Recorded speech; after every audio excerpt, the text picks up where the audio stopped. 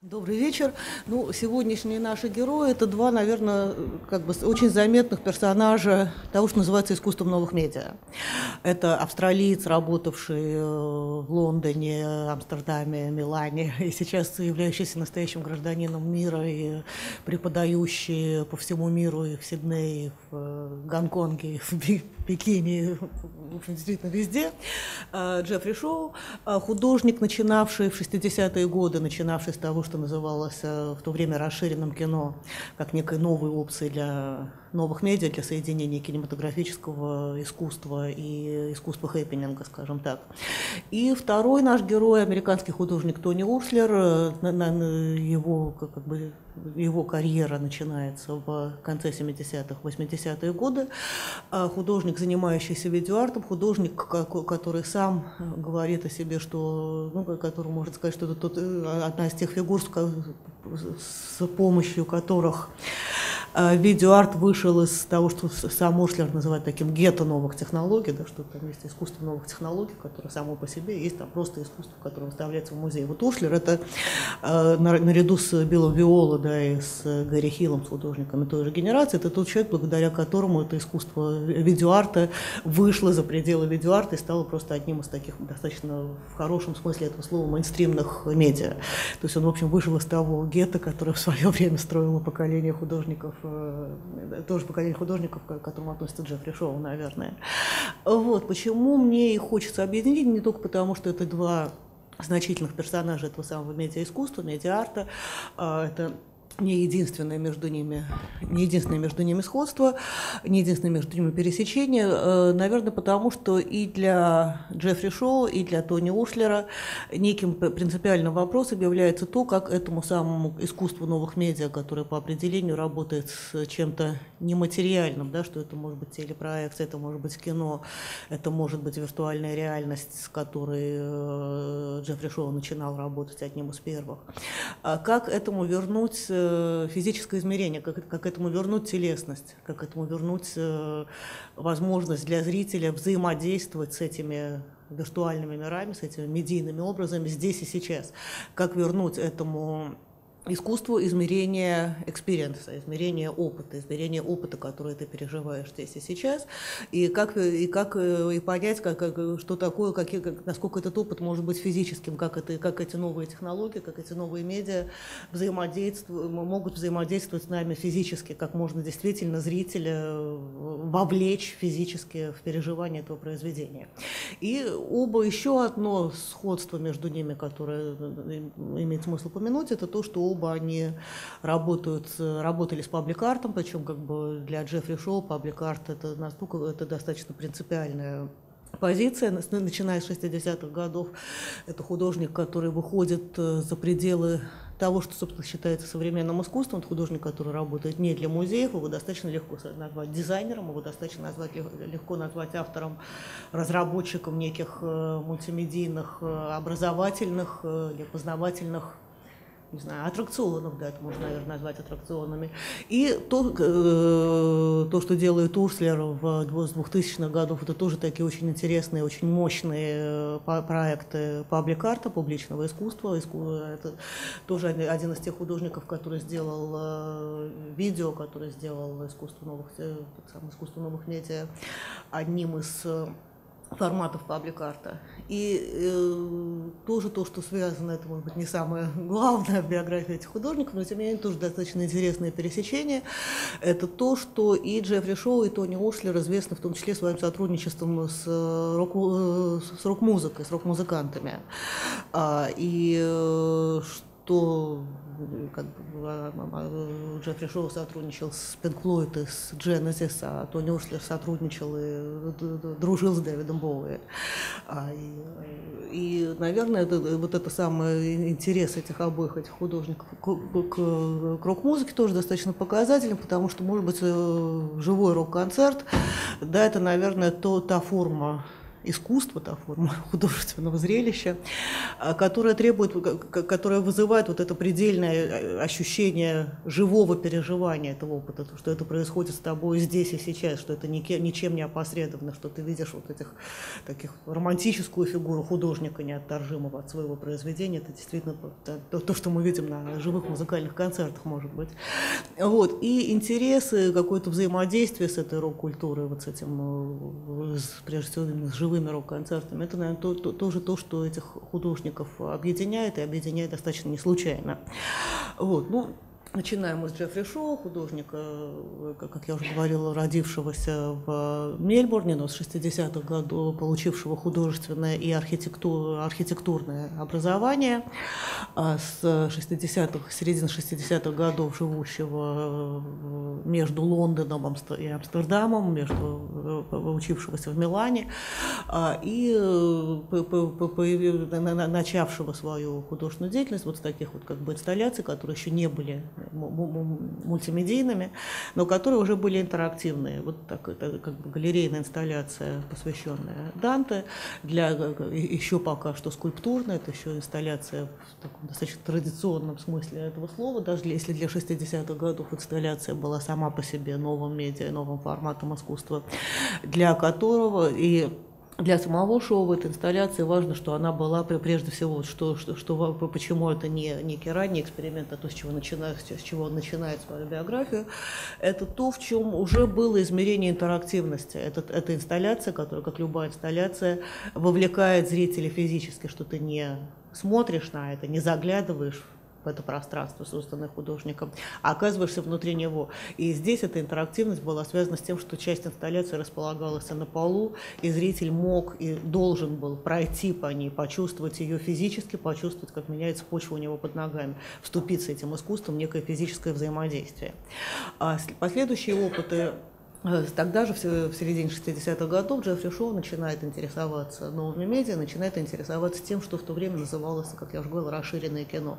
Это некое возникшее в 60-е годы движение, и это название книги, некая концепция, предлагающая э, как бы э, расшатать, расширить те представления о кино, которые вполне себе о кинематографе, которые вполне себе уже сложились в то время, да, что это и ну, там это расширение предлагалось, э, расширенный кинематограф, расширять его предлагалось там, в, в разные стороны, да, это было использование, это был видеоарт, это было использование видеопроект, кинопроекции как части хэппинингов, но, наверное, для, для шоу расширение кинематографа предполагало прежде всего некую попытки вовлечь в него, так или иначе вовлечь э, в него публику, сделать кинематограф.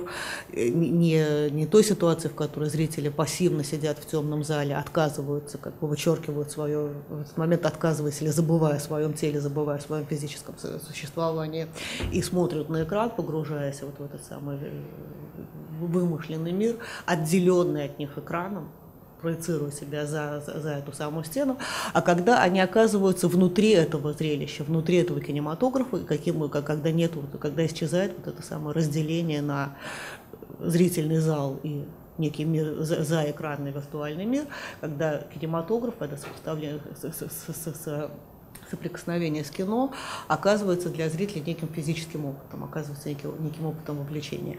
Собственно говоря, тот, тот один из первых проектов, который шоу делает для, в качестве кино, это проект, который он делает с несколькими соавторами, э, постоянное движение звука и изображения. Это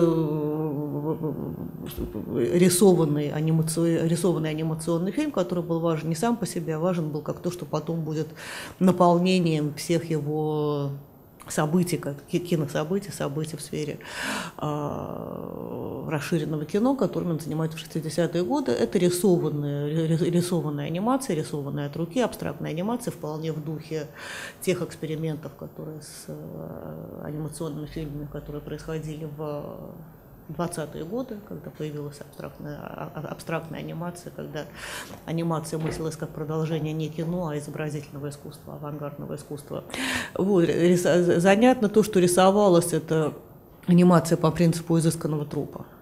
Как бы они по сюрреалистическому принципу Буриме, это, это совместный проект, это почти некое автоматическое письмо, в котором участвуют несколько авторов. И то, что получалось, как бы это достаточно трудное рисование, ручное рисование, но то, что получилось в результате этого рисования, было как бы это абстрактное, это некие, некие абстрактные паттерны, перетекающие по экрану. А, это некий вопрос тренировки внимания для зрителя, как он воспринимает это изменяющийся орнамент, успевает он оценить эти изменения, успевает он на него, за, него зацепиться взглядом. И это то, что потом будет использоваться, собственно говоря, в событиях или в инсталляциях, которые делает Джеффри Шоу впоследствии. Вот. Где еще есть, как, это не только вопрос о том, как, войти в, как, как, войти, как зритель может войти в кино, как может ожить изображение, как может ожить картина, как может ожить изобрази... визуальное искусство, и э, как, как э, все это может э, обрести плоть, обрести тело. Как, как кино может обрести плоть, а как картина может обрести движение, обрести плоть. Вот. И одна, один из его первых проектов того же времени был проект, посвященный Клавису Трою это не очень известный такой второго ряда французский и второго поколения французский сюрреалист, э, фиксирующийся прежде всего на таких эротических переживаниях, на эротических образах. И то, что предлагает, э, собственно говоря, в своей живописи, то, что предлагает, э, то, что предложил Джеффри Шоу, да, если это действительно некая картина, фиксирующаяся на телесности, фиксирующаяся на эротике, на фетишизации тела, то почему бы это тело не сделать э, более осязаемым. И он берет, как бы, взял слайд, как картину этого самого художника и проецировал ее на женский манекен, который является как бы элементом этой картины. То есть он материализует эту картину, действительно строит гипсовый манекен, в котором есть это э, персонаж этой картины, и на него проецирует фильм. Давай это такой достаточно простой ход, но позволяющий увидеть, как эта картина обретает плоть. И в другой версии, как, как бы это было там вторая версия этой, этого события, да, этой инсталляции даже была более замысловатая, потому что там уже фигурировала не, уже не только манекен, там фигурировала живая женщина, женщина-перформер, одетая в белое латексное трико, под, под, под которым были спрятаны воздушные шары, и зрители могли с помощью трубок надувать и сдувать эти шары. На эту женщину шла проекция, и, соответственно, как бы ты можешь не только изменять форму ее тела, тела, но и изменять экран. Ты можешь изменять это кино, эту кинокартинку, потому что ты меняешь форму экрана, но при этом это изменение формы экрана, это такой достаточно эротический опыт э, с, с, сосуществования, контакта с перформансисткой. Опять-таки это 60-е годы, это время сексуальной революции, это время а, переосмысления того, насколько телесность, насколько эротический опыт может быть э, вовлечен в искусство, что в нем табуировано что в нем не табуировано. И поэтому это так сказать, вполне закономерно для перформансов 60-х годов, вот эта самая работа с телесностью, работа с желанием, которое в ней есть. А, и как бы, и, как бы, и действительно возможно ощущение того, что сам по себе экран сама, сама поверхность проекции должна быть живой, должна быть подвижной. Вот такой вот проект, э, э, собственно, для этого самого анимационного фильма, который они рисуют в 60 который шел с автором, рисуют 1966 году. На что его можно проецировать? Можно сделать экран, который будет полупрозрачным, который будет внутри, за, который будет заполнен дымом или который будет заполнен паром. Это будет все время меняющееся пространство, это будет пространство, которое не, в, в котором само по себе это абстрактное изображение, будет постепенно, постоянно подвергаться изменениям. И зритель может оказаться внутри этого пространства. Более того, публика может менять эти экраны, экраны, которые частично были надувными, из надувных, из надувных структур, вот эти самые люди, которые сидят э, в зале, они надувают и сдувают экраны, на которых идут проекции, таким образом изменяя изображение, таким образом как бы становясь, становясь с авторами этого фильма. И э, лепя это изображение, так как можно лепить скульптуру, манипулируя, мани, ну, манипулируя через свое дыхание, манипулируя через э, некое физическое усилие, которое их вовлекает в эту, в эту историю. Вот как получается такое достаточно психоделическое пространство, в котором, в котором они манипулируют. А, и целый ряд проектов, на что можно, на что можно э, проецировать изображение, это все тот же самый абстрактный фильм, на что его можно проецировать, чтобы он каждый раз был разным. Например, такой экран, который состоит из э, э, хирургических перчаток пластиковых, перчатки, которые в какой-то момент можно, опять-таки, с помощью зрителя, с помощью, можно надуть, и тогда появляется белая плоскость, на которую можно что-то спроецировать, их можно сдуть, можно, как бы, ты видишь либо изображение, тогда ты забываешь, на что оно проецируется, либо, собственно, изображение пропадает в тот момент, когда проступают эти перчатки, перчатки, опять-таки, как некая замена и субститут человеческого тела, и субститут вот этой самой тактильности в буквальном смысле этого слова. Там вариант, когда Естественно, там вовлекается тело не только зрителя, но и тело перформера, вот такой вот большой, достаточно физиологичный перформанс, в котором э, был бассейн, заполненный желеобразной желтой, желтой массой, на которую проецировал, проецировался фильм, сидевшая в нем женщина в бинтах, на которую текла эта, эта желтая жижа, эти бинты на ней, с нее соскальзывали, она оказывалась обнаженной, и э, там шарики, которые прокалывали люди в масках, эти шарики тоже падали, переставали быть экраном, жидкость, которая вытекала из этого бассейна, с нее появлялся дым, эта проекция то исчезала, то появлялась в зависимости от того, как менялось то, на что ее можно было проецировать, на, на, на эту желе, на дым, на, на, на шарики. А проекция, которая, причем, как бы, что может быть более бесплотным, да, чем абстрактная анимация. И это то, что, как бы, то, то, то, то, что с помощью этих способов проецирования обретало предельную физиологичность, с которой э, Джеффри Шоу и работал, как вернуть э, киноискусство, искусство котором мы забываем о своем физическом присутствии, да, который нам дает освобождение от того, что мы здесь и сейчас присутствуем в кинозале, как вернуть ему вот это самое предельно телесное, даже предельно физиологическое измерение, тем более, что да, это 60-е годы, опять-таки вот этот физиологизм, это было одной из э, частей, одной из составляющих эстетики того времени, э, то, как бы, если мы вспомним, да, то, что в то же время делали венские акционисты, которые там, пересекались с Джеффри Шоу на фестивале Фло, Лондоне, там у них эта физиология была в таком предельном и почти невыносимом варианте, а здесь это все еще было так достаточно, достаточно развлекательно. Да. Вот. Э, что может быть еще основой экрана? Ну, такой проект, который он делал для Нидерландов это экран, который состоит из прозрачный контейнер, который заполняется дымом и заполняется паром, и на него можно проецировать там, неважно, всякие лю- любые фильмы, которые придут в голову. Шоу предлагал, например, проецировать в перемешку э, экспериментальные фильмы Махой Наджи 20-х годов, э, кадры, документальные кадры э, природных катаклизмов и старые голливудские мюзиклы как бы, что, что может э, там, такой микс. Вот. И э, действительно это фильм, кино, которое становится телом, который обретает плоть, поэтому как бы совершенно программное название «Телесное кино» Корпа Синема, который он делает, это проект, который он делал в 1967 году в Амстердаме, по-моему, в Нидерландах. А вот такая вот надувная структура, а внутри, на которую проецируется, снаружи проецируется фильм, публика может смотреть его как изнутри, так и снаружи, и это ощущение там мембраны, ощущение вот этой надувной структуры, вообще эти надувные структуры это что-то для достаточно общая для 60-х годов. Это огромная мода. То ли появились эти новые материалы, которые позволяли делать эти огромные надувные конструкции. И с ними, помните, с ними много кто работал. Там Манзони с ними работал, с этими надувными структурами. И мечтал построить огромное сферическое надувное здание. А, вот Эпины э, из группы Зира, о котором у нас была лекция, тоже работал с этими надувными скульптурами, которые могли в воздух летать, Sky, Sky Art.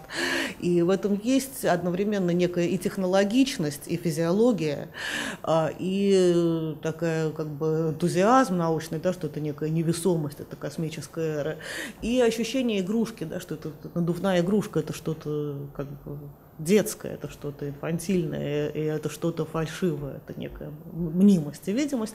И вот эти самые надувные конструкции, с которыми работает шоу, они, наверное, отыгрывают и это ощущение технологии, это ощущение физиологичности, такой почти медицинской, и ощущение того, что это эфемерности, да, это можно проколоть в любой момент, это что-то, что может сдуться, как воздушный шар, и что-то, с чем ты соприкасаешься, вот на этот, этот зал с проекциями, с различными субстанциями, вот как бы замена экранов, которые зритель оказывается внутри этого экрана, собственно говоря, который перестает быть экраном, а, из которого можно э, как бы вот этих самых Э, надувные конструкции, надувные структуры. Это то, что он делает на протяжении всех 60-х годов. Иногда это основы для проекции, иногда это просто некое пространство, да, в котором оказывается зритель. Вот, например, вот такой проект «Movie Movie», который он делал для бельгийского казино в Кноке казино, которое почему-то тогда было и до сих пор, по-моему, достаточно долгое время было таким местом э, очень показывающим и заказывающим современное искусство. Вот, э, там был, по-моему, проект э, Никиты Санфа для этого казино. В общем, он как-то все время всплывает в истории искусства, но этим были. И вот такое событие для этого казино, все-таки развлекательный формат он делал, где появлялись вот такие вот э, служители в белых костюмах, в белых комбинезонах на глазах у зрителей надували эту структуру огромную в этой структуре, и зрители могли оказаться в этой структуре, как бы там это такая огромная игровая площадка для для взрослых в каком-то смысле. А, и, это, и как сам художник вспоминает, и почему-то некоторые из публик, большинство публики решило, что в этой ситуации хорошо бы раздеться до гола и как бы устроить такой праздник освобождения, который там и происходил. Вот такое ощущение какого-то совершенно другого физического опыта, ощущение вот этого самого предельного experience а, в котором, он, в котором ты оказываешься, в который тебя освобождает от всех условностей, в котором ты можешь позволить себе вести себя как ты хочешь. И неким Э, результатом его работы с расширенным кино, с этими ну, побочным почти что, стала вот такая вот скульптура в виде огромных надувных труб, которые, как тогда отметили, да, что она надувается, она начинает плясать в воздухе. И, собственно говоря, судя по всему, именно с этого изобретения Джеффри Шоу появились вот всем нам сейчас известные вот эти пляшущие фигуры, которые используют для оформления в рекламе, да, и для оформления всяких э, шоу, да. И появляется это все вот в 68 году, вот из, из вот этого всего интереса к воздушным, надувным, эфемерным, подвижным конструкциям, с которым он э, работает все 60-е годы, создавая новые измерения, то есть конструкции, в которые публика может войти. Конструкции, которые не, далеко не всегда существуют в контексте современного искусства, и для, для самого Джеффри Шоу это было очень важно, он занимается паблик-артом, он создает э, весь смысл этого расширенного кино, но весь смысл того искусства, которым он занимается, это и вообще весь пафос 60-х, это выйти за рамки музея, выйти за рамки художественных институций, выйти за рамки галереи.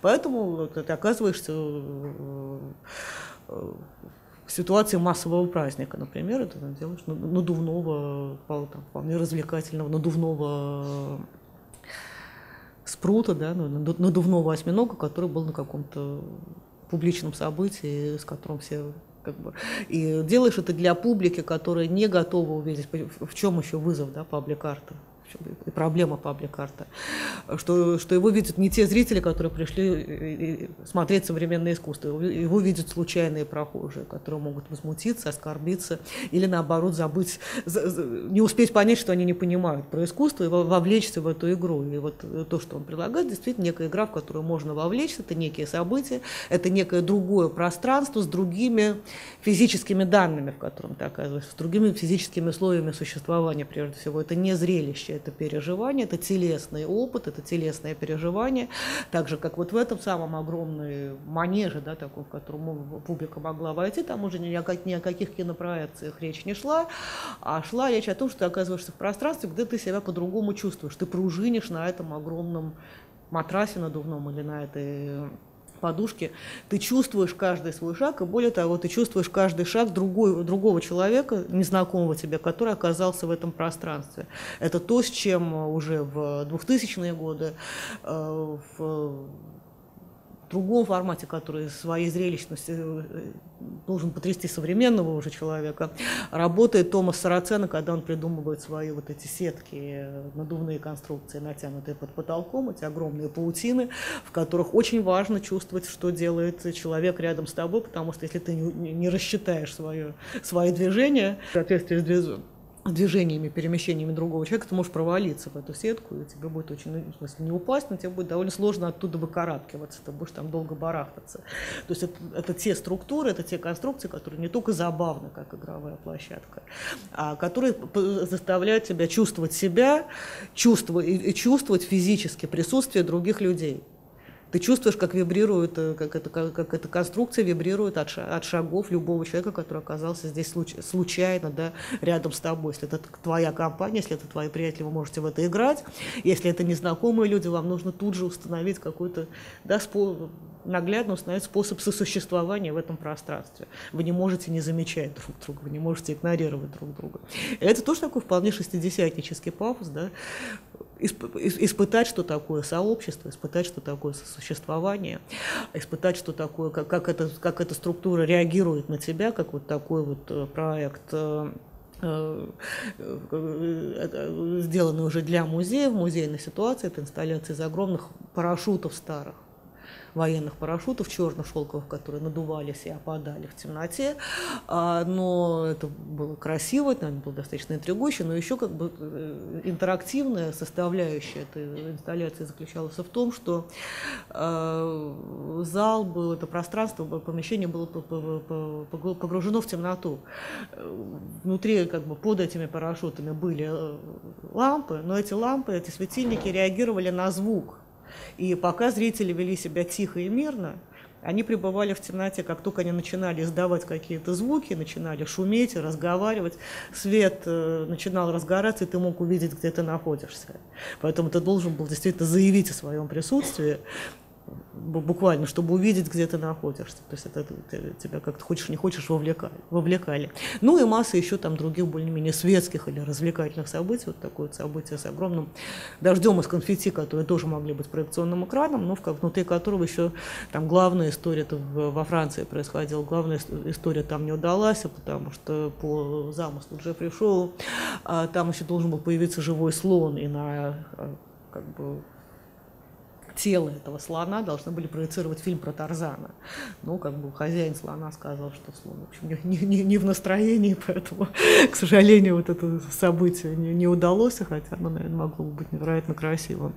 Вот. И вот все работы с эфемерностью, да, с, дым, с дымовой завесой это делалось в Нидерландах, смысл который был в том, чтобы скрыть здание университета, делалось по заказу университета на университетском кампусе.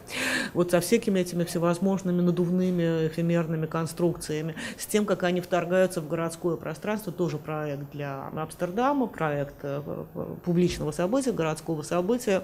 Огромная надувная подушка, которая оказывалась э, посреди улицы. Э, это было забавно, это было неудобно, потому что она блокировала движение, блокировала, ее невозможно было не объехать и не, обойти. И единственное, что оставалось зрителям, это начать, как бы зрителям, горожанам, да, это начать перед, куда-то перетащить эту подушку, начать не играть. Потому что если ты не вступаешь в ней игру, то не можешь ее обойти, тебе, ты не можешь проехать. И поэтому ты должен, ну, как бы, и подушка это что-то там предельно домашнее, уютное, да, это огромная игрушка. Это очень немножко похоже на те проекты, которые а, Олденбург делал, у которого тоже, помните, были проекты монументов, которые блокируют, э, блокируют движение, да, которые нужно обойти, как бы избавиться от них. Но здесь это обойти избавиться было вариантом игры, поиграть с этой гигантской подушкой. Вот такое вот замечательное изобретение, водная прогулка, надувной конус, в котором, а, а, оказавшись в котором, можно пешком ходить по воде. А, проект, который был даже не э, придуман действительно как изобретение, которое фигурировало в результате кстати, в одном из э, фильмов э, Бондианы 60-х, 70-х годов, я правда, не, не помню это абсолютно, и который, насколько я понимаю, просто успешно коммерциали, коммерциализировался. Да парке развлечений сама видела, такая детская игра. Но начиналось это как вот проект современного искусства, другие способы существования в мире, другие способы существования в городской среде, другие отношения, вот еще вариант, вот такая надувная труба, по которой можно было перейти озеро. А, и а еще и изменить э, саму среду обитания. Проект, который в это время, огромный утопический проект, который начинает э, Джеффри Шоу в это время, искусственные ландшафты, эскизы, которые предполагают, как можно изменить э, реальные пейзажи за счет вот таких вот помещенных в них надувных объектов, надувные объекты. Вот огромное облако, привязанное с проекцией или с раскраской облака, которое может таскать по себе в серый день.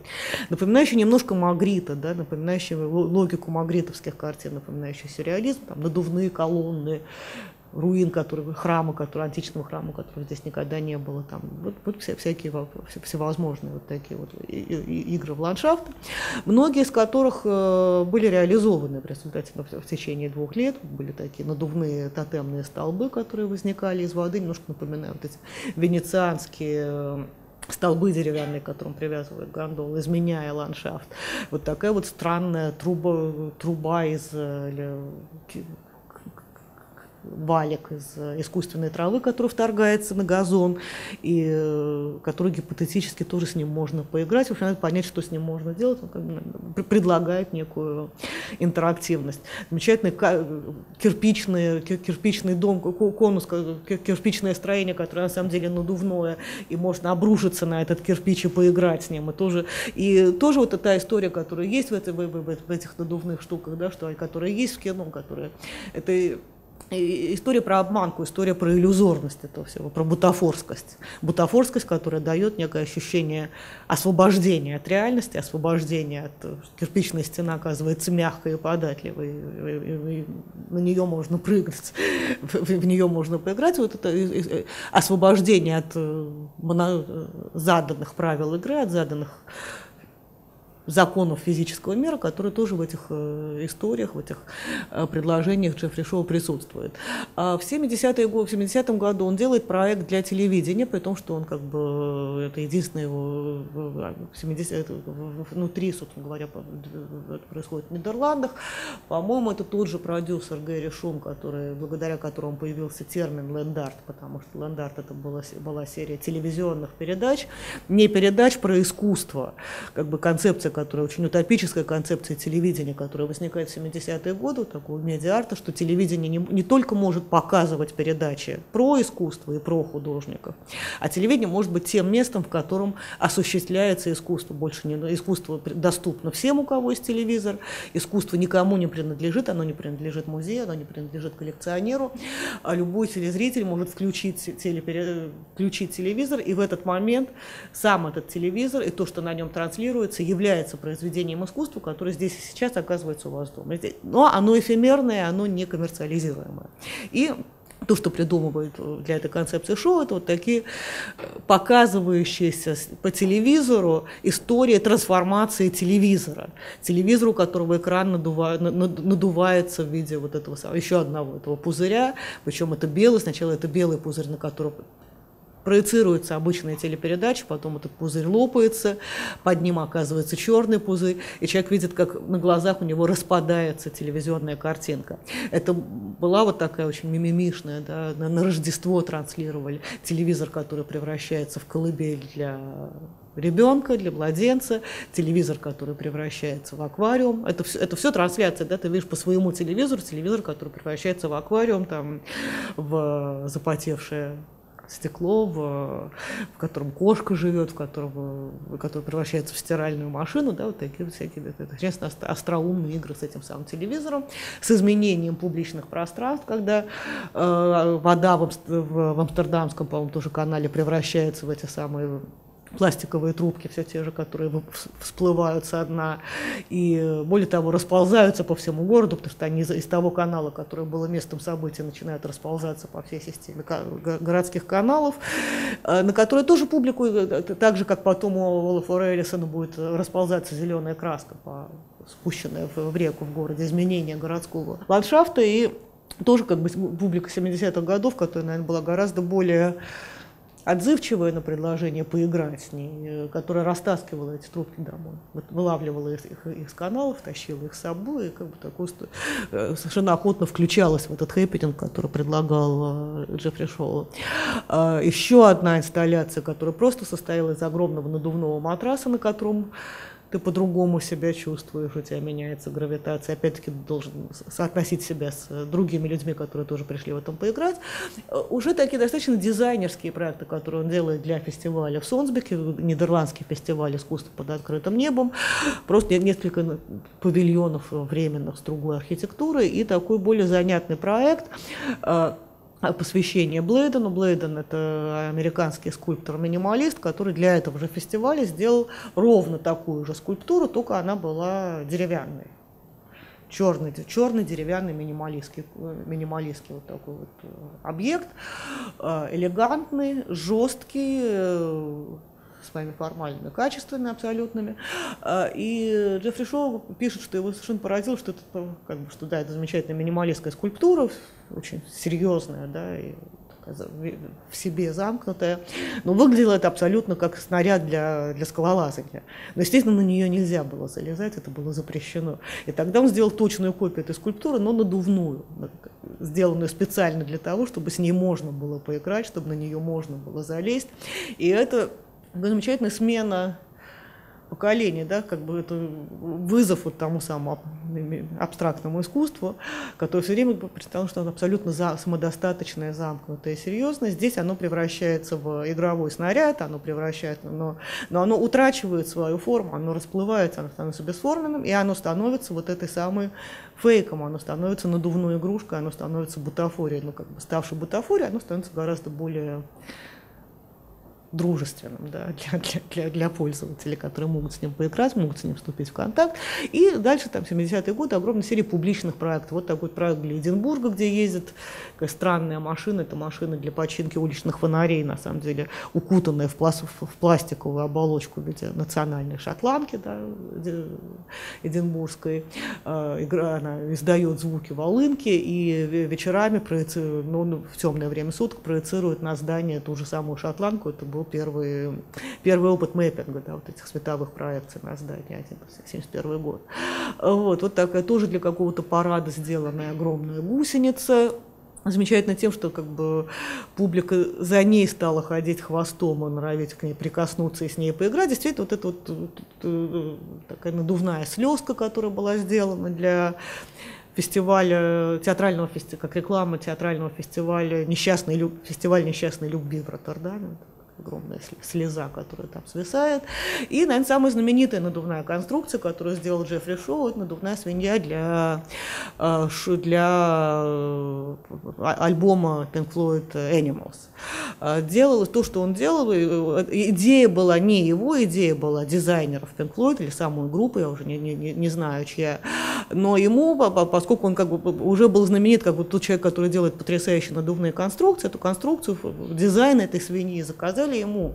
И делалась она не то, что он первая свинья делалась не для э, концерта, она делалась для фотосерии, для фотосерии, которая вошла в альбом, то есть там нужно было, чтобы действительно была это достаточно большая свинья, больше, чем та, которая может использоваться на концерте, летающая над знаменитой лондонской электростанцией Беттерси, ну, все, все мы эту знаменитую, действительно прекрасную обложку помним, а с этой свиньей был связан, там она в результате улетела куда-то неуправляемую, там, свалилась где-то в английской деревне, создав прекрасный информационный повод для журналистов и, видимо, немало не, раскрутивший этот альбом.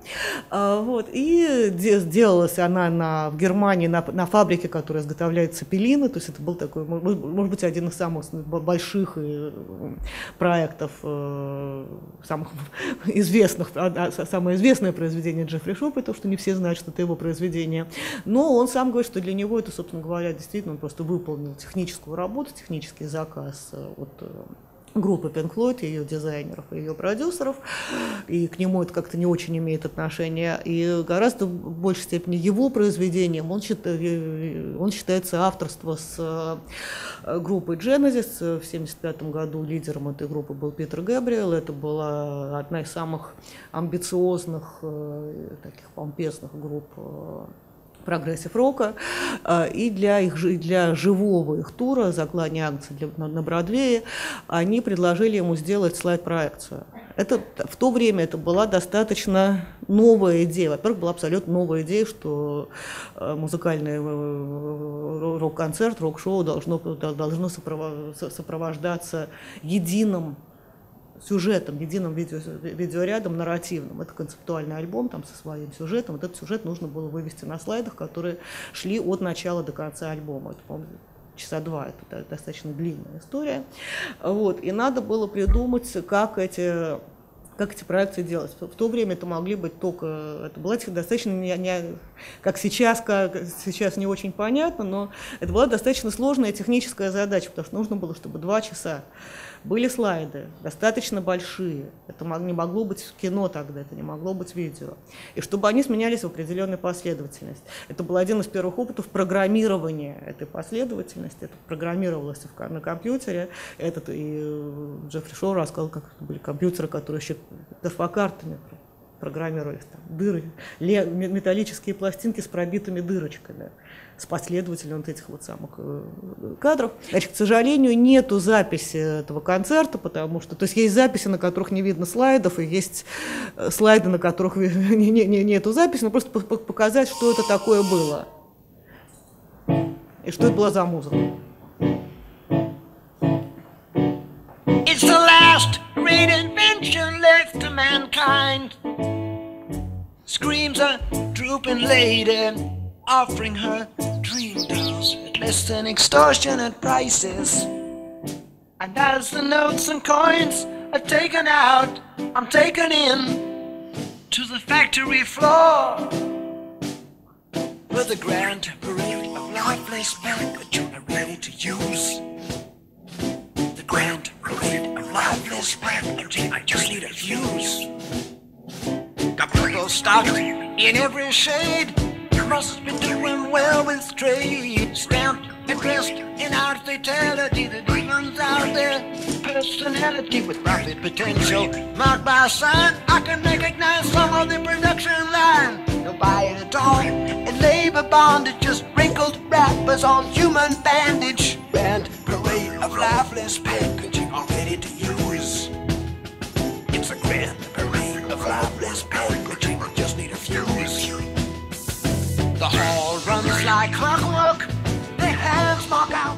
Ну, дальше как бы все, всех желающих отсылаю к Ютубу. Вот. И, э, э, собственно говоря, там это, как, как, естественно, кончается это тем, что вся вся, э, все эти три, три экрана там были, оказываются заполнены толпой, которая как бы с каждой строчкой песни возрастает в геометрической последовательности. Опять-таки для 1975 года это была достаточно сложная история. Более того, совершенно совпадавшая с, с интересами самого Джеффри Шоу, который он делал как художник. В 1974 году, за немножко раньше, чем э, его сотрудничество с Genesis, он делает вот такую диадраму, э, которую считает одним из первых опытов это кинодиорама, который считает одним из первых опытов проекции, которая сделана так, что зритель оказывается внутри нее, погружается в нее и оказывается в ней как своего рода виртуальная реальность. Это тоже слайд-проекция. А еще Тогда в 70-е годы он начинает работать с лазерами, которые только-только появляются, и он работает, и, он, и оказывается возможность делать нематериальные скульптуры. И для того же самого шоу Genesis он предлагает э, лазер, который солист группы Габриэл держит в руках, и которым он размахивает, это бесконечный луч света. А, и фильм «Звездные войны», в котором появляется лазерный меч, появляется после этого шоу, и вполне возможно в некоторой прямой зависимости от того образа, который они в то время создают. И вот вообще это мода на, на лазерные проекции, которая одна из тоже частей 70-х годов. И тогда же он начинает работать уже не с, если первый его 60-е годы ему было важно сделать материальным то, что мы обычно считаем нематериальным, сделать материальным сам момент фильмы, кинопоказы, кинопроекции. А в середине 70-х годов он начинает работать с тем, что является обманкой, да, тромбдей, а, и тем, что можно назвать виртуальным. Вот такая вот серия фоторабот, где все время есть вопрос, что на что проецируется. Да? Обнаженное тело, которое, оказывается, нанесено на, на фотографии обнаженного тела, нанесенное на платье. Фотография сушащихся простыней, нанесенная на сушащуюся простыню. Кирпичная стена, которая оказывается фотографией колеблемый ветром, да, тоже на, на, на занавеске. Что такое, что такое, то есть тут для него оказывается первым опытом виртуальности, исследования виртуальности, которое появляется в 1968 году разрабатывается технически возможность виртуальной реальности или дополненной реальности, технически неосуществленная в то время. И шоу одним из первых начинается это, вообще с этой идеи виртуальности и с идеей тоже такой, казалось бы, совсем современной идеи дополненной реальности работать. Вот такой проект э, «Точка зрения». Э, в музее находится такой вот монитор, да, вернее, не монитор, это зеркало, ящик, сквозь который ты можешь смотреть на помещение того же самого музея.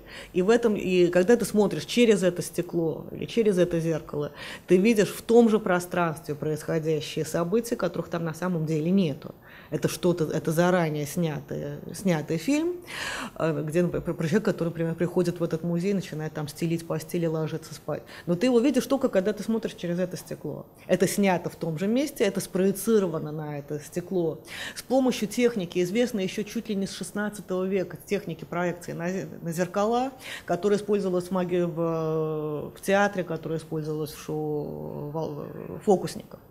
Вот, и он, который он воссоздает для того, чтобы это создать, для того, чтобы ты действительно мог видеть то, что происходит здесь и сейчас, но в, некой другой, в неком другом измерении, в, некой, в некой другой реальности. Вот с этими самыми измерениями виртуальности он начинает работать в конце 70-х, 80-х годов. Виртуальная скульптура, когда ты опять-таки видишь в том же пространстве, в котором ты находишься, то, что нельзя в нем увидеть без монитора, без очков, да, но ты видишь вот эти абстрактные формы, которые парят в этом музее, это невидимый музей. А ты видишь э, это для театра, опять-таки, сделанный проект. Ты видишь проекцию на двери, ты видишь фигуры, которые входят в эту дверь, но они туда не входят, это проекция на эту дверь. Это та, вот это та самая концепция дополненной реальности, с которой не, не очень много еще кто работает, и с которой э, Джеффри Шоу работает с, с 70-х годов, когда она еще не вполне вообще существовала. И при этом в то же время начинает, он работает с театром, он работает с, с, с театральной труппой, делает вот такие вот странные спектакли, в которых присутствует измерение ритуала, мистики, которая его очень интересовала и занимает всегда, и который считает, вдохнов... описывает как вдохновленные фильмами Параджанова хотя и работающие там с темами алхимии, например, с символикой красного, белого и черного цветов через алхимическое и психоаналитическое прочтение. Вот. И продолжает делать как бы уже публичные проекты, проекты новых технологий. Вот такой, например, э, это проект для библиотеки, э, экран из шариков для пинг-понга грубая-грубая пиксельная картинка, но эта картинка интерактивная, и можно, прикасаясь к экрану, рисовать э, орнаменты на этом. Эти шарики образуют новые орнаменты. Да? Вот придумать скульптуру, которая тоже работает на принципе обманки, это скульптура, которая только с одной точки зрения собирается в изображение. Мольберт, да, столика для рисования, а с других точек зрения распадается. То, что с чем сегодня Дмитрий Гутов работает. Да, очень который, скорее всего, не знает об этой работе, потому что все идеи возвращаются сами по себе время от времени. А, как, эти, как, как, эти, как это все взаимодействует со средой, вот эту неоновую волну в Амстердаме, по-моему, тоже э, зависело от э, реальной силы ветра. Это волна, которую гонит, неоновая волна, которую гонит реальный ветер, дующий в городе в это время. А как соединить виртуальное и реальное? Да? Проект э, Корида. В одной комнате есть танцор Бута, который танцует вот в этой конструкции с этим самым быком и изображает эту кориду.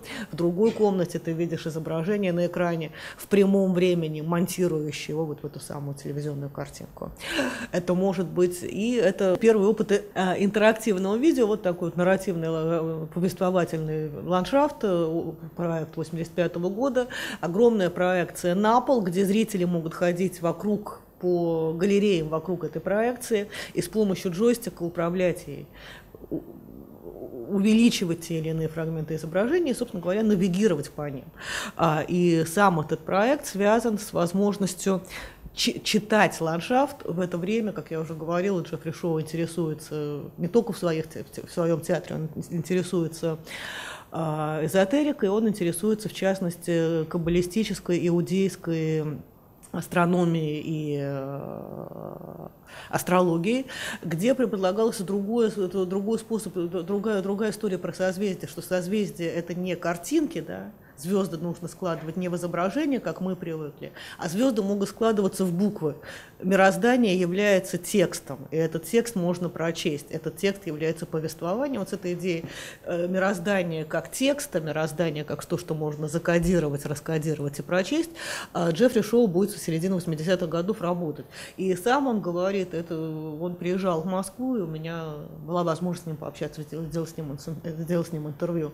И он ужасно интересно рассказывает про про то, что у искусства новых, новых медиа с самого начала были две очень важные составляющие. Одна из этих составляющих была связана ну, 60-е годы с психоделической культурой, то есть возможностью измененных состояний, измененных состояний сознания, расширенных состояний сознания, того и очень забавно рассказывал, что ему очень не хватает сегодня вот этой самой публики 60-х и 70-х, которая была готова играть во все эти игры, потому что эта публика была всегда немножко под кайфом, и поэтому все эти опыты воспринимали, все эти новые опыты воспринимала абсолютно, как, как говорится, некритическим энтузиазмом. И сейчас и вторая составляющая, которая тоже, тоже была важна, это составляющая, связанная с эзотерикой. Почему и то, и другое совпадает? Наверное, потому что и то, и другое дает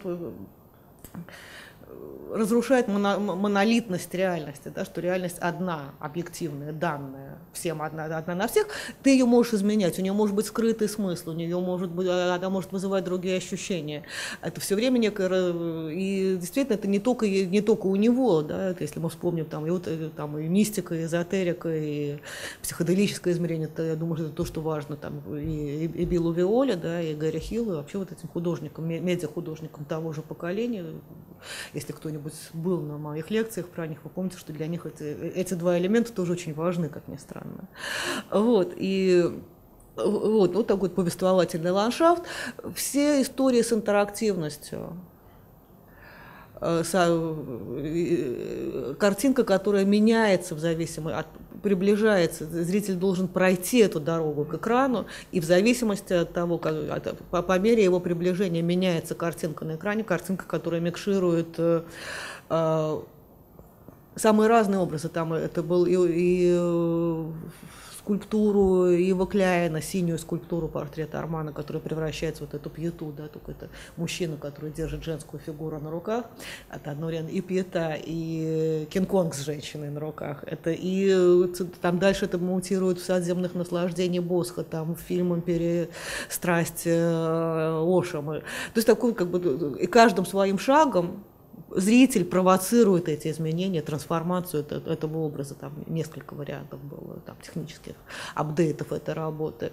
А, есть как бы это, все истории с виртуальной реальностью, это, собственно говоря, проект для научного музея в Лявилет, где ты можешь через телескоп смотреть на этот музей, обнаруживая там разные истории, обнаруживая там повествование, обнаруживая опять-таки то, чего в этом музее нету, но в данном случае это уже не произведение искусства, это научно-познавательный проект. Вот. А, видео «Нарцисс» — это, наоборот, художественная выставка, где можно посмотреть на свое отражение, это мониторы, лежа стоящие под водой. И мало того, что как бы по, этой, по этому бассейну, по, этим, по этой воде идет рябь, еще само изображение в телевизоре, это действительно отражение зрителя, который в данный момент смотрит на себя, и он видит, и он не может уловить свое изображение, потому что у него идет не только рябь, но и видеопомехи, скажем так. Вот. И все возможности, опять-таки, попасть внутрь этой картинки. А, вот такое вот э, изменяющееся изображение, Heaven да, а, где э, тоже очень важный для Джеффри Шоу сюжет, от, откуда берется интерактивность, откуда, где это, откуда берется виртуальность, где это впервые возникает в культуре. Впервые он считает, что идея виртуальности возникает в барокко, возникает с, с этими барочными потолками, да, возникает с ощущением, что вот этого сбоя, когда ты не видишь видишь, где кончается архитектура и начинается живопись, где кончается реальное пространство и начинается иллюзорное.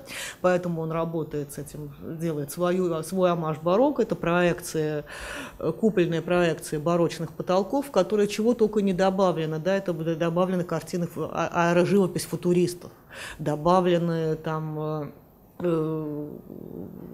кадры съемки, насовские съемки Земли из космоса, да, то есть там, там, там всегда такой глич идет, который заставляет изменяться эту картинку а, и заставляет тебя пережить это барокко в современных технологиях, но тоже то, что важно для него, э, как бы Джеффри Шоу э, рассказывает, что он никогда не, что ему никогда не хотелось работать для интернета, потому что интернет это великое изобретение, и никогда не хотелось работать для телевидения, потому что то, что важно в барокко, та виртуальность, которая ему важна, это виртуальность, это интерактивность, которую нужно переживать публично, это не когда ты сидишь перед э, монитором и взаимодействуешь с ним, а когда ты взаимодействуешь вместе с другими людьми, когда ты оказываешься оказываешься в публичном пространстве, так же, как публичным было барокко, барочная культура, это не, не картинка дома, это публичное пространство, в котором ты оказываешься.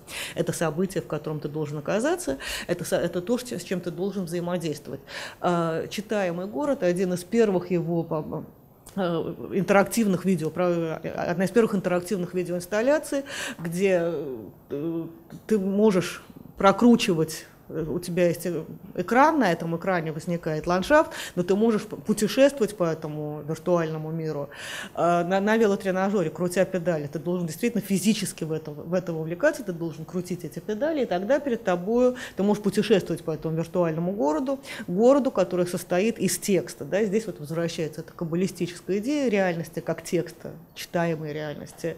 Э, там был как бы это реальные городские ландшафты, там был Манхэттен, Амстердам и Карсруэ, и каждый город это, это, это другая история. Это город тексты, там, причем самый сложный был, по-моему, Манхэттен, где были несколько голосов, каждый из этих, несколько нараций, каждый из этих повествований выделено отдельным цветом шрифта, и там были несколько голосов, там был не голосов, в смысле текстов, там был текст а, гида, экскурсовода, там был, тек, там был рассказ нью-йоркского таксиста, там был рассказ архитектора Фрэнка Ллойда Райта, построившего э, Гугенхайм, там был рассказ э, мэра Нью-Йорка, вымышленный, да, там был рассказ Дональда Трампа, да, то есть там были самые разные голоса, которые там звучали, которые, собственно говоря, образовывали этот город, через который ты мог путешествовать, продвигаться э, физически. Ну и вот все те же истории там с виртуальной ре- реальностью, которая с дополненной, вернее, реальностью. Вот у тебя комната, ты стоишь в комнате, ты видишь ту же комнату на экране, но в ней есть то, что есть только в этой виртуальной реальности, она проползает. Ты должен, э, то же самое усилие физического по взаимодействию взаимодействию. Да, на этом это, это монитор, показывающий то, что может ассоциироваться с понятием революция, переворот и изменения, но для того, чтобы эту революцию увидеть, ты должен реально повернуть рычагом достаточно тяжелый монитор и сделать достаточно сильное физическое усилие. А, это танцующая балерина, которая это огромная проекция, огромный монитор, танцующий на вот такой вот э, э, забыл, как, это, как, как, как, как эта машина называется на русском.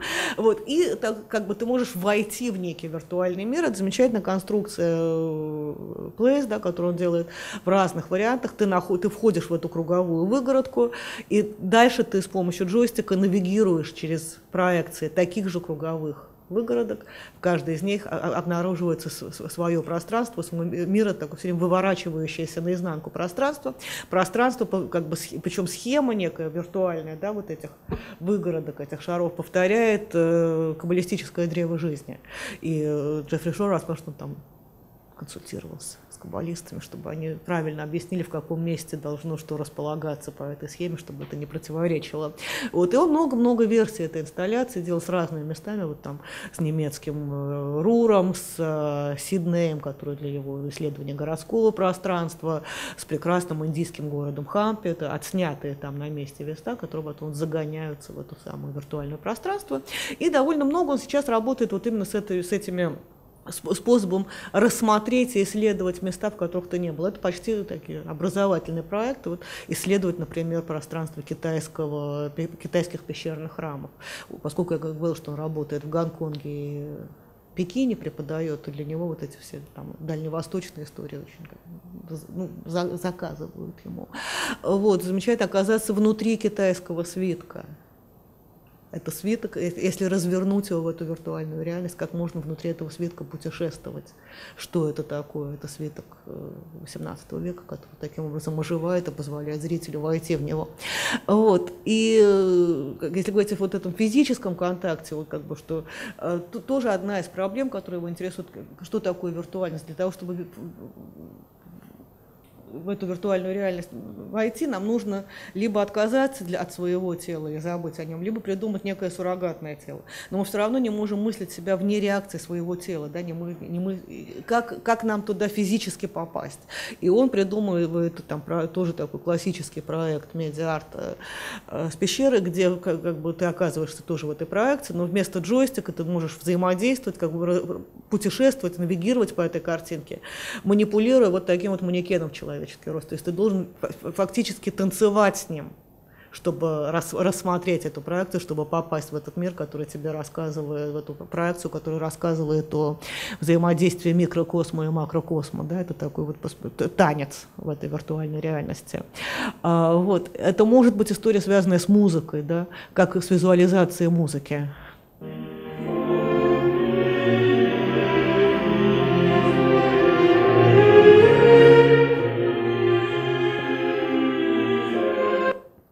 Не будем с помехами, да, смотри. Но это, это тоже идея некой визуализации, это, это, это, это как визуализировать музыку, в виде архитектурного ландшафта. И э, там очень красивое видео, которое замечательно тем, что то, что у него появляется, как материализация этой музыки, это, это почти начало космической Одиссеи да, Кубрика. Это почти вот, вот эта вот архитектура, которая у Кубрика тоже озвучена классической музыкой. Вот, ну и как бы все истории, предполагающие этот эффект присутствия, еще одна полнокупольная проекция, где можно увидеть самые разные пространства, может быть, музей современного искусства, это могут быть, опять-таки, тоже превращенные в этот барочный потолок. Но, наверное, интересная тем, как человек, как изменяется масштаб, да, ты все время оказываешься меньше, чем ты на самом деле, если бы ты был в этом пространстве. А вот такой проект, сделанный для Шанхайской биеннале, а проект э, тоже связанный с виртуальной реальностью, с, с присутствием человека, когда зритель оказывается перед неким боксом, внутри которого обитает как такое чистилище, да, где обитают эти персонажи, ты можешь заставлять их двигаться, высвечивая их, этим самым высвечивая их э, лучом света, и это, и они там почти, почти автономные, да, они, как в компьютерной игре, у них есть некий, некий, некий лимит собственной воли, но при этом ты можешь увидеть случайно другого человека, который этим манипулирует и который для тебя оказывается в этом же пространстве. Вот, вот все возможно примерно так это может выглядеть. А вариант интерактивной поэзии, где ты можешь активизировать одну, одну из фигурок соавтора Джеффри Шоу, поэта Эдвина Тамбо. А, то есть ты высвечиваешь его, он начинает, он произносит стихотворение, ты можешь комбинировать из, это, из, из его высказывания некий текст, и причем этим как бы элементом э, в виде джойстик сделан в виде микрофона, который вот этому даешь слово, вот этому, вот этому комбинируешь. То есть такие вот все возможные игры с интерактивностью. И вот такой последний очень красивый проект, который он сделал не, не очень сложный, да, это тоже сделано в, в Китае, где он работал с, со знаменитым каллиграфом, да, там есть, который в, делал в прямом времени вот эту огромную каллиграфическую полотно на огромный свиток, и камера была укреплена на конце его кисти, камера, которая зрителю позволяет уже действительно почувствовать внутри себя, внутри этой старинной, старинного варианта живописи действия. Они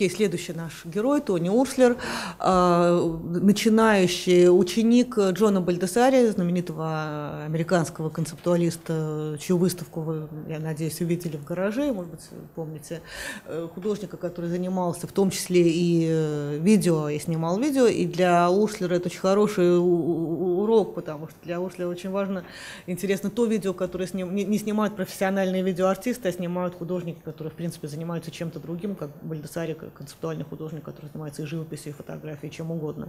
Вот. Ушлер не, не мыслит себя изначально как видеохудожник, он начинает с вот таких вот замечательных э, рисунков, э, рисунков, в которых действительно есть, это не эскизы к живописи, это не эскизы какого-то произведения, это именно что рисование, рисование как процесс, некие почеркушки, некие наброски, рисование, и э, то искусство, то, то, те, те первые фильмы, которые он начинает делать, это фильмы, в которых есть это ощущение сни, сни, сни, э, фильма как процесса, фильма как почеркушки.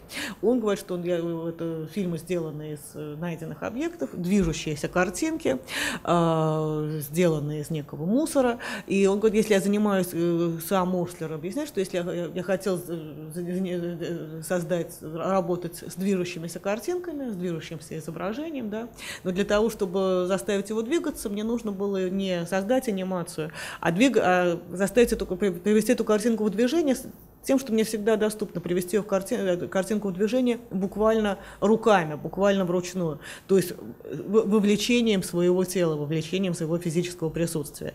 Это его ранние фильмы сняты это фильм, который снимает э, очень юный человек, да. И это фильмы, которые достаточно часто сравнивают, которые часто называют инфантильными и детскими, при том, что это фильмы, которые рассказывают о там, сексе, насилии, ужасах, страхах и так далее. Да, гораздо правильнее их назвать подростковыми, потому что, может быть, это тот момент, когда взрослеющий человек только ставший взрослым, с помощью детского языка, с помощью предметов из мира своего детства, пытается рассказать о каких-то страшных, э, странных э, взрослых вещах, которые, как бы, для которого еще нету своего языка. Рассказать об отношениях, рассказать о столк... Э, коллизиях, используя вместо персонажей вот такие вот, например, фигурки.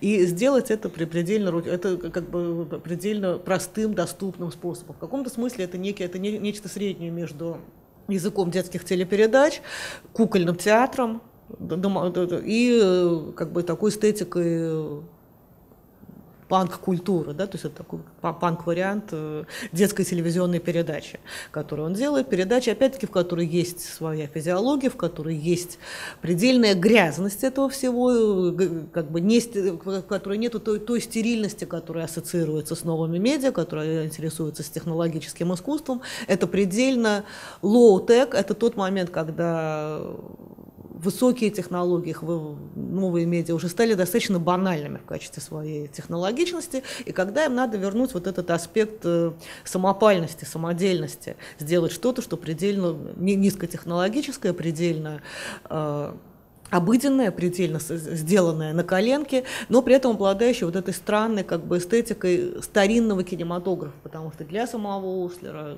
как бы он все время говорит, что, как бы, что, что это еще вернуться в тот момент, когда кино еще не знало полностью своих возможностей. Для него, и для него там при, при, при, любимые фильмы, с которыми он сравнивает, это фильмы Мельеса «Путешествие на Луну», когда, только, когда вообще еще непонятно, что кино – это искусство со своим языком, когда это только еще кажется вариантом трюка, да, фокусник Мельес придумывает, как сделать фокусы с помощью кинопроекции, придумывает э, кинематограф современный наполовину. Это тот момент, когда в кино еще может быть не, не, не, не анимация, а нарисованном, происходить в нарисованных декорациях, как в фильмах немецкого экспрессионизма, как э, в кабинете доктора Каллигари. То есть это некое возвращение к, там, к, к, к кино, которое еще не владеет своей технологией, и именно поэтому оказывается невероятно изобретательным и креативным. Ну и вот тут как бы самый фантастический, инфантильный, немножко готичный мир, который существует и у Мельеса, да, и в кабинете доктора Каллигари, там, по своим сюжетам тоже, наверное, к тому, что к ранним фильмам Мурслера имеет свое отношение,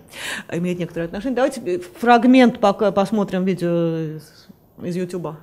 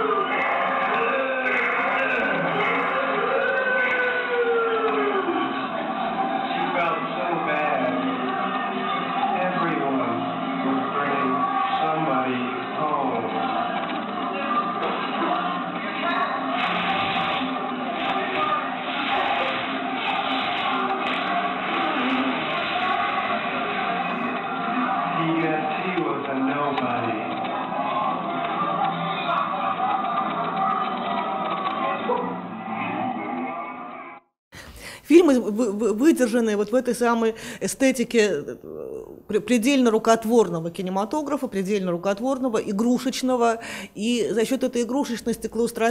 немножко клаустрофобичного, да, это вот тот самый мир Алисы в стране чудес, которая уже слишком выросла, чтобы поместиться в этом игрушечном домике, но она все равно в нем должна помещаться. Вот. И Постепенно из э, в какой-то момент он начинает, э, опять-таки, он начинает эти, эти фильмы переносить в инсталляции. То есть для него важно, как этот предельно внутренний личный опыт, который он рассказывает в своих ранних фильмах, это действительно то, что происходит в моей голове, то, что происходит в моем воображении, то, что происходит в моем, в моем сне, как его уже не, при, не, не пригласить зрителя заглянуть туда, а вывернуть этот мир в на, на, вывернуть этот мир во внешний мир. И тогда появляется собственно говоря, инсталляциях, где те же самые элементы декора становятся, как бы те, появляются как реальное пространство, в которое можно, может войти зритель, чтобы увидеть там эти истории, чтобы увидеть там те же самые фильмы. То есть этот мир этого фильма, эстетика этого фильма, декорация этого фильма выносятся вовне, выносятся за пределы собственно говоря, э, экрана и оказывается той декорацией, тем, э, тем ландшафтом, в который попадает зритель. Ландшафтом, который действительно называется пси, там, психоландшафтом, это внутренний мир, это некая история как бы, э, некая визуализация психических ландшафтов, некая, некая визуализация внутреннего мира с его изменениями, с его искажением, потому что то, что Ушлера интересовало с самого начала его биографии, это то, как связаны технологии с историей психических расстройств, с историей безумия, с историей психических аффектов, то, как э, сами технологии, развитие технологий воздействует на психологию, но и, то, но и с другой стороны, то, как на, на наши психические аффекты, наши запросы формируют то, что мы хотим увидеть от технологии. Это постоянное его исследование, поэтому возникают вот эти визуализации этих психологических ландшафтов, вот такой вот декорация, в которую можно заглянуть, и в ней оказывается видеопроекция, встроенная в одну из этих башен, с некой историей, которая за этим следует. Так мог бы выглядеть военный музей в маленькой, проигравшей все войны стране, придумывает Услер объяснение этой, декора... этой декорации. И появляется вынесение фигур, которые выносятся вовне. С 89 -го года из этого эстетики кукольного, кукольной анимации, да, кукольного, кукольного театрика, перенесенного на экран, возникают куклы и фигуры с которой, тряпичные куклы, с которыми Уршлер начинает работать как с постоянными сюжетами, э, персонажами своих, своих, своих видеоинсталляций. Одна из первых э, таких кукол, которые он делает, называется «Симулякра». И в данном случае как бы очень важно вспомнить, в каком контексте здесь возникает этот симулякр. Это пока что не к, не к Бодрияру и не к Фуко. Это отсылка к научной фантастике, это отсылка к одному из, одной из повестей Филиппа Дика, где возникает возникают, описанные, наверное, в 60-е годы, где симулякры – это синтетические тела, которые используют люди для коммуникации. Вот вместо того, чтобы лететь на самолете в другой город, человек присылает вместо себя свое подобие и на расстоянии коммуницирует через это свое подобие. По-моему, это в каких-то довольно поздних, недавних научно-фантастических фильмах эта идея эксплуатировалась, но она возникает вот тогда вот, и у Дика эти фигуры называются фигуры, с помощью, суррогатные тела, с помощью которых ты можешь дистанционно управлять ими, телеприсутствовать в мире, называются симулякрами. Вот такую симулякру создает Ушлер в одной из своих первых работ. Вот, и начиная, как, начинает создавать тряпичные фигуры, э, проецируя проецируя лица на, проецируя съемки лиц на актеров или самого себя, на эти самые тряпичные фигуры. То есть это такой вариант перформанса, который осуществляется здесь и сейчас в реальном времени. Это предельно физическое присутствие, это вот это самое внутреннее, внутреннее пространство, вывернутое вовне, где публика может взаимодействовать как бы с этими фигурками, с этими марионетками, но эти марионетки сведены к это некое, некое актерство, некое присутствие перформера или художника в этом мире, сведенное к абсолютно ограниченному набору э, средств. В принципе, как это, они достаточно мощно, мощное производят э, впечатление, когда есть крошечная вот эта вот э, тряпичная кукла, беспомощная, с живым Э, кричащим, страдающим лицом, потому что, собственно, каждая из этих кукол запрограммирована на ту или иную показывают ту или иную эмоцию. Эмоцию, которая у них есть тексты, а там есть звук, но сам Ушлер объясняет то, что они, как бы, то, что они выражают, это некое предязыковое состояние страх, боль, гнев, желание, соблазн, аффект, то, что не требует языка. Это некое, как бы, действительно, каждая из этих фигурок выражает некое, некий аффект, некое психофизическое состояние. И это существо, которое абсолютно ограничено этим, этим кукольным тельцем, которое не может докричаться до тебя, которое ничего не может сделать, которое абсолютно безвольно. В каком-то смысле это такая антитеза перформансу, да, потому что любой как бы, перформанс 70-х годов, 80-х годов, что происходит в перформансе 70-х годов, там важно не лицо, там важно человеческое тело, да, вот эти все исследования телесности, которые начинаются в том числе с, с, с Джеффри Шоу, да, с его этих обнаженных женщин, которые, да, как, которых нужно поместить в эту историю с кино.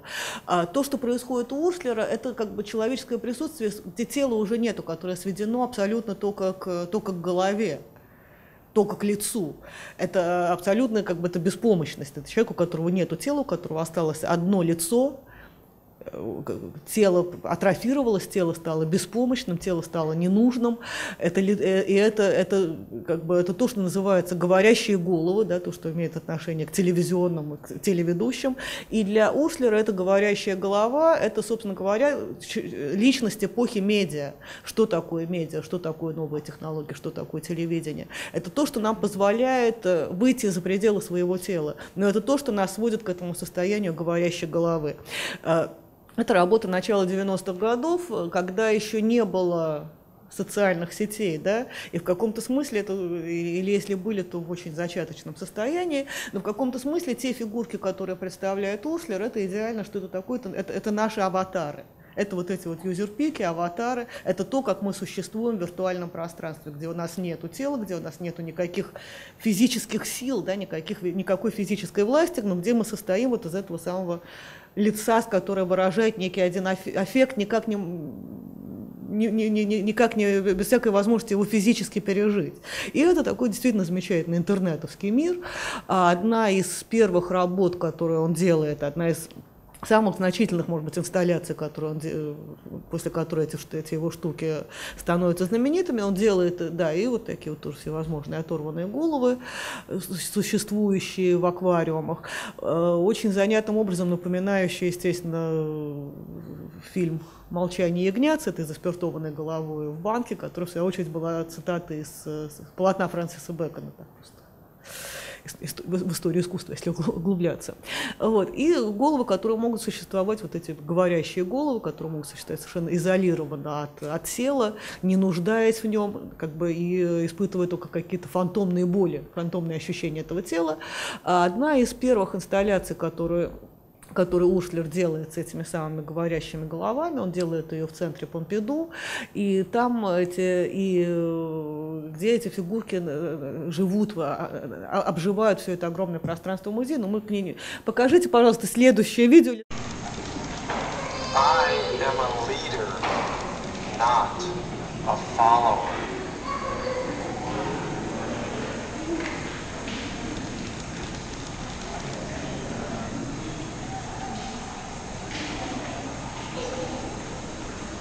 I have few regrets.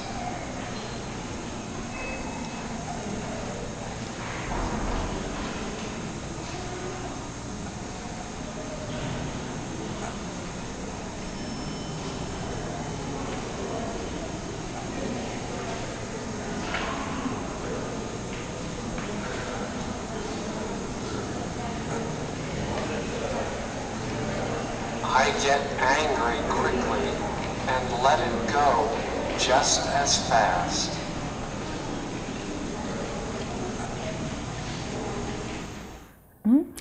Ну, просто чтобы показать, как, как, как, как, это, как оно выглядит в действии. И э, как бы еще, как я уже говорила, то, что это, сюжет, который интересует э, Ушлера самого, как бы, самого начала его творчества, это взаимодействие технологий и психических расстройств. И один из, одна из историй, которая его все время занимает, ну, действительно такой потрясающий, как бы, одна из самых популярных э, психических проблем – это синдром э, расщепления, расщепления личности, раздвоения личности когда, ну, может быть, один из, одна, как бы, как бы синдром, который не признан как официально, как не описан официально, как не, не входит в реестр э, психических заболеваний, это почти парамедицинский термин, но синдром, которому посвящено, наверное, предельное количество всяких художественных произведений, начиная там с голливудских фильмов э, с 50-х годов, да, вот множественная персона, множественная личность, там кто-то не, не знает, что делает другой человек, да, огромное количество сюжетных возможностей. А, и Урслер связывает это, само появление этого синдрома, он связывает его с, с появлением медиа, потому что как, как раз, во-первых, этот, этот, этот синдром почему-то больше всего распространен именно в Соединенных Штатах. И по какой-то, я, я абсолютно не претендую, что Урслер или я пересказываю его, вот, сообщаем какую-то официальную медицинскую информацию, но он говорит, что очень интересно, что это, что это больше всего известно именно в Америке, и что э, начинается настоящая эпидемия этого где уже личности в одном человеке становятся не две, не три, а, а сто, и вот это и нарастание этого синдрома, и, на, и, и количество личностей, которые уживаются в одном пациенте, как, собственно, сами пациенты об этом рассказывают, связано с развитием телевидения. И что термин, который даже психологи начинают об этом говорить в терминологии канала, да, что, тебя очень, что ты переключаешь эти личности так же, как переключаешь каналы телевидения. И что вот эта расщепленная личность, это личность э, человека, который поглотителя медиа, когда ты все время переключаешься с одного канала на другой, когда ты, э, тебе для каждого, ты переключаешься с одной истории, с, одного своего аватара на другой свой аватар. И что, собственно говоря, вот этот медийный человек, это и есть человек, который страдает этим расщеплением личности, поэтому все фигурки, которые он создает, это фигурки, это как бы разные э, разные, э, раз, разные аспекты одной и той же личности, это то, то, то расщепление человека и расщепление тела, которое существует вот в этой самой ситуации как сознания измененного и э, сформированного современного медиа, и в свою очередь заказывающие этим медиа, какими они должны быть.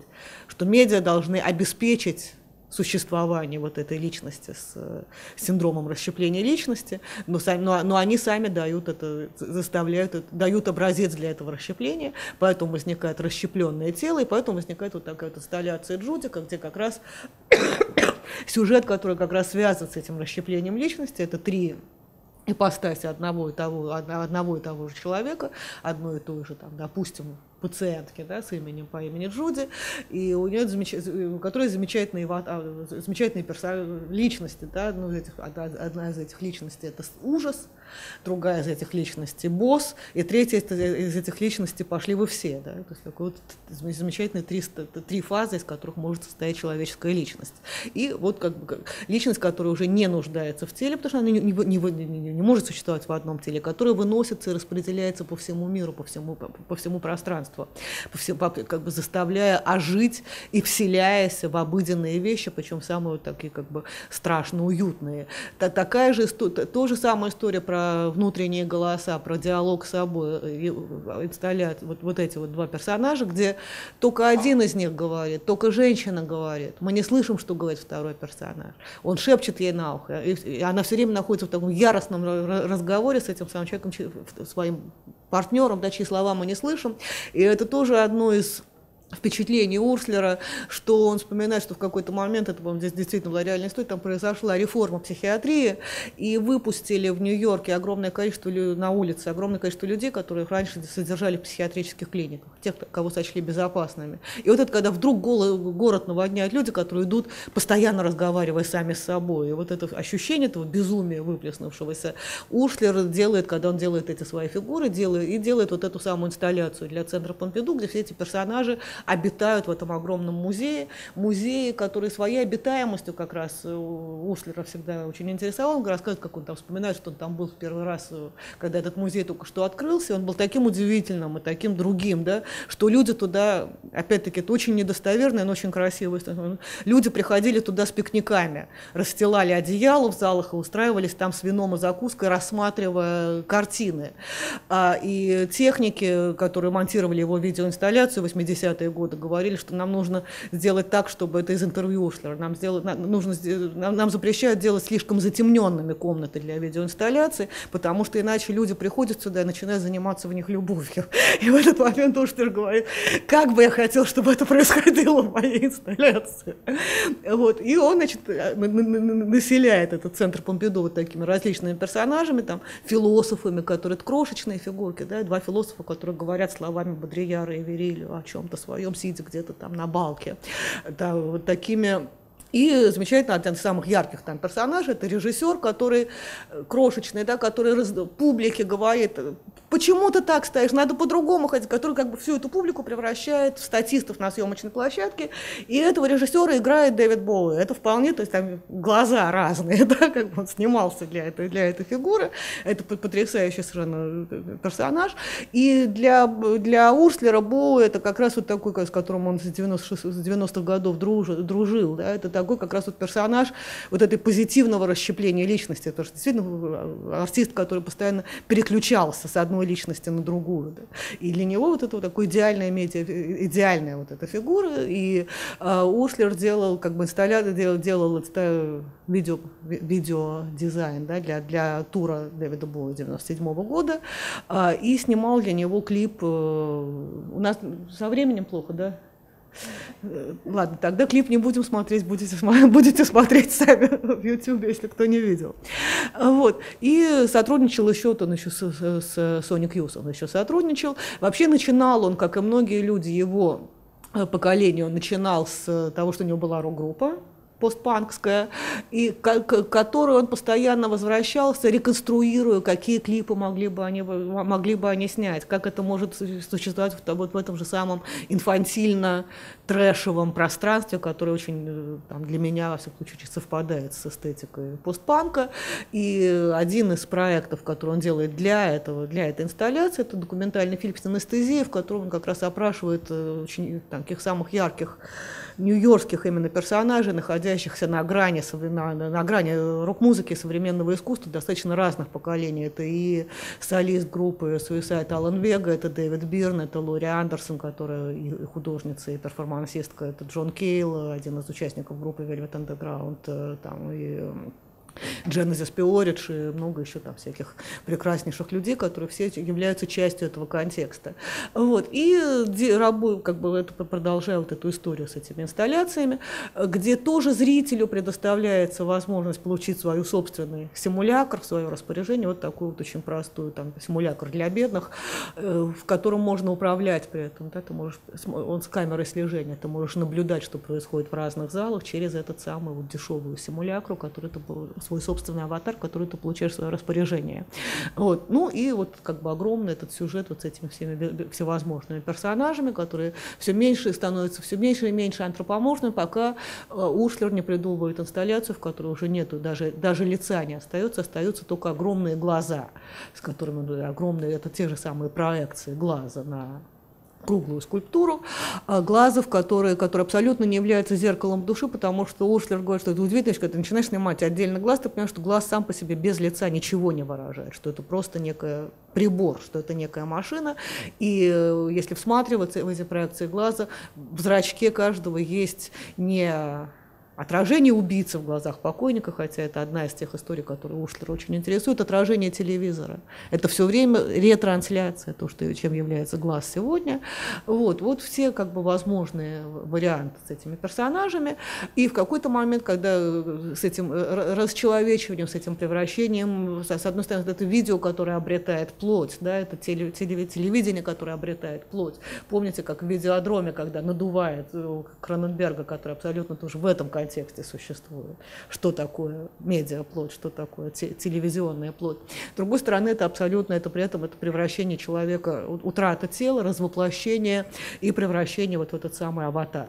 И в 1998 году появляется вот этот самый череп, да, который у нас Э, один из постоянных образов в современном искусстве, да, и начиная с барокко, Ушлер делает свою версию Ванитас, он делает огромную инсталляцию из черепов и голов, но на эти черепа проецируются живые лица. Да То есть это не черри, как бы, которые совершенно смешивают вот это, что здесь живое, что здесь не живое, могут ли они ожить. И, и как, как я говорила, еще один его постоянный сюжет – это история, собственно говоря, медиа, как, как развитие технологий связано с политикой, с психоландшафтами. Это достаточно параллельная конспирологическая история медиа. Вот «Блю дилемма» – это э, воспроизведение одного из первых аналоговых э, аналогов декодеров то есть как бы возможность сканировать изображение механическим образом и транслировать его в другую комнату. Такую тупиковая ветвь развития телевидения. Извините, я, мне сложно это объяснить более подробно, это технические, технические аспекты. Вот, интересно, что возникает вообще этот интерес к к истории медиа, но как, как то, что для Ослера называется теневой история медиа, параллельная история медиа, история медиа как конспирология, как развитие, как развитие, как теория заговора, потому что вот это самое прототелевидение было придумано в Германии, и это позва... не было никогда не реализовано, но это позволяло Гитлеру говорить, что какое телевидение было изобретено в, Германии, да, это, другая часть истории. И вот это как, как бы, и это то, чем, то, тоже то, что интересует Ослера, так же, как некая история с публичными проектами, э, минималистскими. Да, первый его паблик-арт, который он делает, вот такой уличный свет, э, это действительно фонарь, который достаточно часто первый проект он делал для фестиваля городской скульптуры э, в Мюнстере. И это были просто обычные фонари, которые вдруг начинали мерцать, да, как это обычно бывает с, неработающими, с плохо работающими фонарями. Но если к ним подойти, то было слышно, что, они, что этот фонарь разговаривает, и что мерцание его связано с модуляциями голоса. Это некий, некий город, городское, городское пространство, которое к тебе обращается. И из этого из, из этой истории возникла одна из самых грандиозных проектов э, Муслера «Машина воздействия». Это большие, большие публичные проекты, которые он делает в разных городах. А, это вот такие вот истории про призраков, потому что, может быть, как бы это проекция на дым и проекция на деревья, когда в тех или иных городских парках возникают вот эти огромные говорящие головы, действительно возникают привидения, они так и обозначены как привидения, ведущие призраки того места, призраки, и призраки технологий как таковых, потому что, собственно, кто персонажи этой инсталляции, это и различные изобретатели, изобретатели телевидения, изобретатели радио, да, и различные медиумы. Это то, та связь, которая существует, вот если мы говорили, что как бы, связь между медиа и эзотерикой, которая для Ослера тоже очень важна, потому что его история – это связь между, между медиа, между новыми технологиями и оккультным, между историей духов, историей призраков. Действительно, то, как, как сами, само развитие технологий связано с желанием постичь не, неведомое, но при этом, как сами эти технологии нужны для того, чтобы подделывать свидетельство этого неведомого.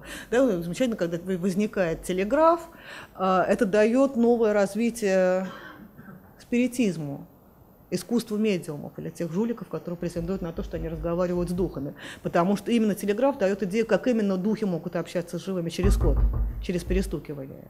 И после этого спиритизм и искусство или там, вызывание духа получает новый толчок после появления телеграфа, потому что телеграф дает техническую возможность, как можно придумать, как, как духи общаются с живыми. Э, точно так же там огромное количество технологий возникает, вот как, когда мы говорили про шоу, вот это зеркало, для чего, которое он использует, зеркальные проекции, для, для шоу-фокусников. Но до того, как это было шоу-фокусников, опять-таки для, для спиритов, которые призывают духов. То есть как бы технологии возникают как то, что должно материализировать, показать существование или, или фальсифицировать существование оккультного мира. Это, и это действительно одна из тем, вот это как взаимодействие технологий и э, оккультного, это постоянная тема, опять-таки, 80-х годов, постоянная тема киберпанка, а, Уильяма Гибсона, который того же поколения человек, что и уж, с тем же осмыслением технологий. Таким образом, новое пространство, интернет-пространство, виртуальная реальность становится тем пространством, которым, ну, собственно, тем нематериальным, духовным пространством, в котором заводятся свои привидения, в котором заводятся свои духи, которое может стать тем пространством, в которое мы отправляемся после смерти. Да, вот это все такое оккультное осмысление новых технологий. И даже когда в своих следующих проектах шоу работает с просто там с горожанами, да, это все равно это еще это тот мир, который позволяет каждому из нас стать призраком. А, и разыграть эти истории, вот такие старинные ужасы, разыграть, например, в реальном городском парке историю по мотивам э,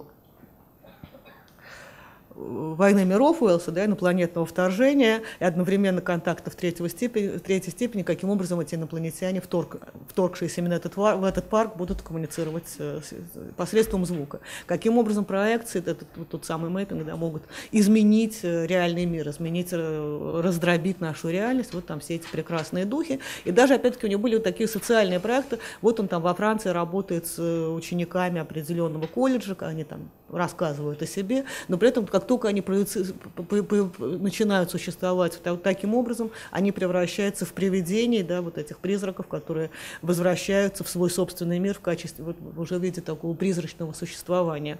И вот такая там тоже инсталляция, а, а, может быть, самая масштабная его видеоинсталляция, сделанная для огромного парка скульптур в Новой Зеландии, да, про котором там, наверное, самый невероятный парк, где он тоже делает такой сам гигантский скелет и гигантская доисторическая женщина, которая там покоится. Вот, и все вот эти возвращения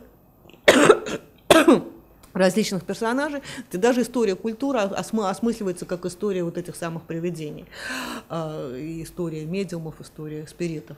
Может быть, ну, тогда, извините, нас, по-моему, торопят, поэтому я, наверное, расскажу про самые последние его, просто покажу еще всякие его замечательные работы. И Расскажу про самый последний его проект. Это проект, который называется «Имподерабели», собственно говоря, который подводит итог вот этим всем его исследованиям. Он всю жизнь собирает все фотог... огромный архив того, что связано с историей вот этих техно, технологических изобретений, связанных, с одной стороны, с историей психических расстройств, а с, другой стороны, с историей оккультного, э, оккультизма. И у него, и для Ошлера в этом есть такая абсолютно его биографическая зацепка. Дело в том, что его дед Фултон Ошлер был писателем, детективщиком, а, писателем религиозным, он написал книгу, и он дружил с, переписывался с Конан Дойлем из Гарри Гудини. И Конан Дойль и Гарри Гудини были, как известно, верили в спиритизм и в медиумов. И э, Конан Дойль присылал Фултону Ошлеру фотографии, в то время очень известные фотографии, что считал, что фотография может запечатлеть появление духов во время спиритического сеанса, который не видит человек. Это были, это были сфальсифицированные снимки, но это были снимки очень известные. И у, в архиве, в семейном архиве Ушлера была, соответственно, огромная коллекция этих снимков, присланных Конан Дойлем его деду. Его дед, наоборот, не верил в спиритизм, и его задача была в том, чтобы объяснить Конан Дойлю, что это фальшивки. Вот. И из этой истории про, про, про спиритизм, да, про этого деда, про огромный архив там, всех фотографий, снимков э, летущих, летающих тарелок, спиритических сеансов, трансов, а, вот вся как бы эта теневая история медиа, связанных новых технологий, связанных с оккультизмом и связанных с, с, с надувательством, с духовными запросами и с тем, что, собственно говоря, в этом изобретательстве не является технически необходимым, не является экономически оправданным вот, э, разрушает рационалистический образ мира, а для Урстера это тоже он, он получил католическое образование, и для него вот этот опыт, э, детский опыт католичества, да, от которого он достаточно, тоже очень важен, потому что есть вот это вот как интерес к этому мистическому началу.